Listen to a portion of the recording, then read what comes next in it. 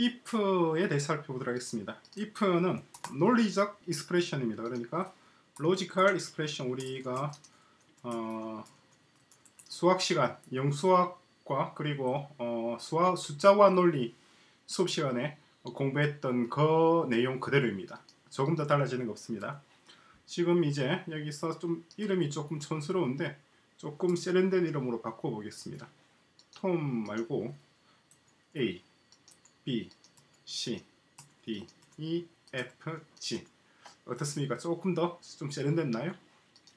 자 여기서 if 문장이 하는 역할은 뭐냐니까 if는 어, 만약에 만약에 어, 점수가 50점 이상이면은 합격 아니면은 뭐 실패 탈락 이 되는 거 그런 식으로 하는 거죠. 그래서 equal if 문장 넣고 어 이게 뭐예요? 이게 저기 저 i 16이죠, 그죠? i 6이죠. i 6이 어 이게 50점보다 크다, 그죠? 그러면은 어, 합격 패스고 아니면은 어, 떨어진 거죠. 그러니까 인용 부호 하고 패스 넣어주고 그리고 아니면은 false 떨어진 거죠.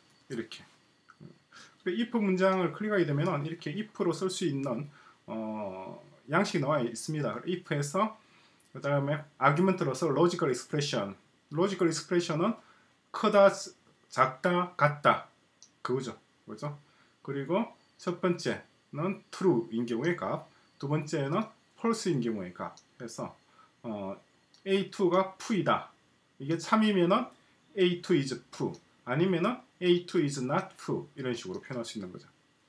그 뒤에 설명들이 좀 나와 있습니다. 읽어보시기 바랍니다. 그러면은 자 여기서 하게 되면은 패스라고 하는 게 나왔죠. 자, 이것이 뭐냐니까 A 어, A가 아니죠. 어. 봅시다. 이게 i5 i5가 i5죠, 그죠? 5. i5니까 폴스로 떴습니다. 가슴 아프게도. 그죠?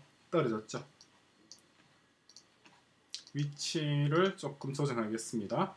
색깔도 어, 합격 혹은 불합격 이렇게 할 텐데 아, 그것도 조금 이따 우리 살펴볼 겁니다. 어, 그거는 다음 주제입니다. 음. 컨디셔널 포매팅에서 어, 합격이면은 어, 파란색으로 떨어졌으면 빨간색으로 이렇게 표현할 수도 있는데 그거는 지금 주제가 아니니까 그거는 나중에 살펴보도록 하고 이렇게 해서 이런 식으로 자 자동 채우기를 하게 되면 보다시피 이런 식으로 어, 50점을 넘었으면 패스 아니면은 false 그죠? false라고 하는 말보다는 뭐뭐뭐뭐 예, false로 하겠습니다. 어, 성공이니까 success라고 하는 것도 괜찮겠고 뭐 이렇게 어, logical expression은 이렇게 숫자를 줄 수도 있고 아니면은 어, 아예 어떤 기준점을 줄 수도 있습니다. 그래서 예 B의 성적 점수 그죠? B의 성적 점수가 어, I6잖아요. 그래서 I5가 I6보다 크면은 패스 아니면은 폴스 그러니까 B보다 잘했으면은 패스고 아니면은 실패 이렇게 적어줄 수도 있죠. 그렇게 하면은 위에는 폴스입니다. 밑에는 어떻게 될까요? 자동 채우기라 했을 때 그럴 때 제대로 됐을까요?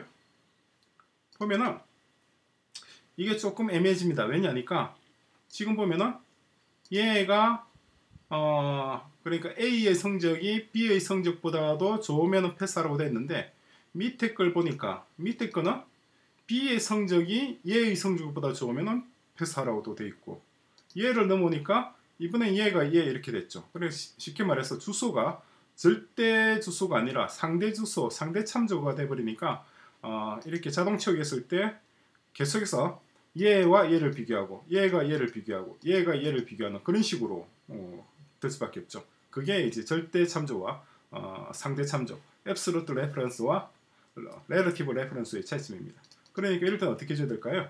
절대값을 붙여주는 게 좋습니다. i 앞에 달러 기호, 6, 6이라고 하는 숫자 앞에 또 달러 표시를 해줘가지고 음, 그러니까 기준점이 되는 게 얘란 말이에요. B의 성적표. 그렇게 해서 이제 자동 참조를 하게 되면은 또 달라지게 됩니다. 보시면은 얘를 보면은 다 값이 그대로 i6 값이죠. 얘와 비교하고 있는 겁니다. 얘도 얘와 얘를 비교하고 얘도 얘와 얘를 비교하는 거죠. 이게 if 문장입니다. 이렇게 비교하는 것을 이제 logical expression이라고 한다는 표현.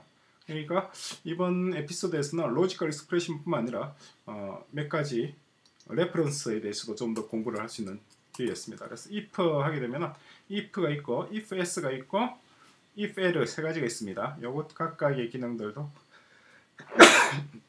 아 죄송합니다. 같이 한번 나중에 어, 참조해서 살펴보도록 하겠습니다.